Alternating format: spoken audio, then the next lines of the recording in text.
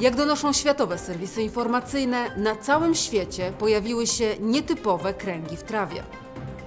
Kręgi znajdują się na wszystkich kontynentach, zwłaszcza na terenach porośniętych trawą.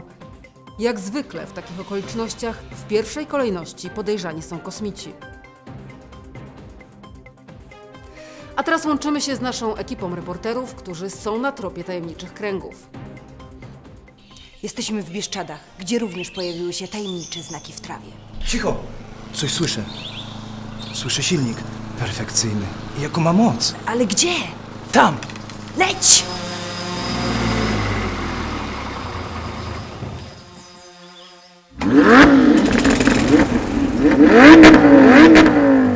Oleomak. Koś gdzie chcesz. Teraz 5 lat gwarancji. Znajdź lokalny punkt sprzedaży. oleomak.pl